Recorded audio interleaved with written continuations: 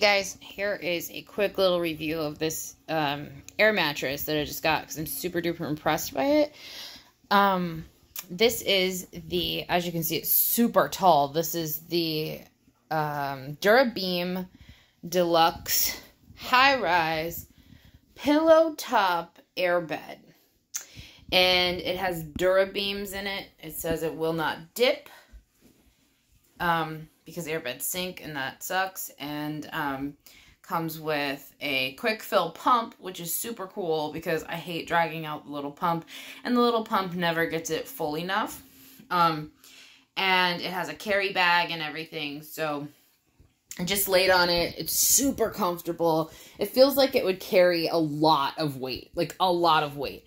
So, um, like me being on it, I didn't even feel anything. It does feel really, really supportive. The sun just changed, sorry. Um, and this is the full size, and I found it hard to find a really tall full size airbed because typically they come in like queen. So I needed full for my office in here because, you know, I don't have a lot of space. So if I move over here, it's going to slide perfectly into this area so I'll be able to access the closet. We're only going to have it up for like a weekend, but there are times when my husband is working like an alternate schedule and we have a baby, so I need to sleep too. so, uh, yeah, it should slide right in there. Um, and yep, this is the box, the dimensions. It's super tall, so I'm just really happy about that.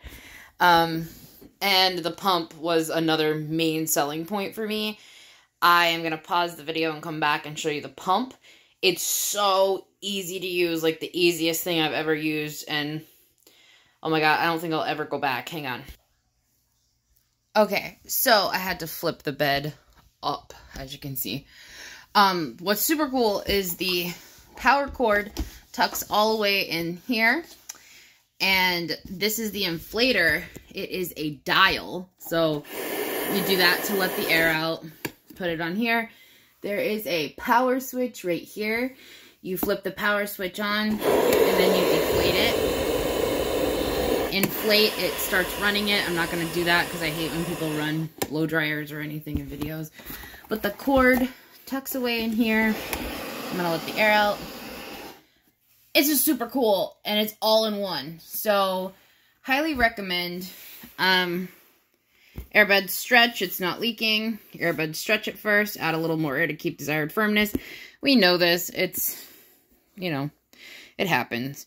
Um, it's all like flocked on the sides and really soft so it'll grip the sheets.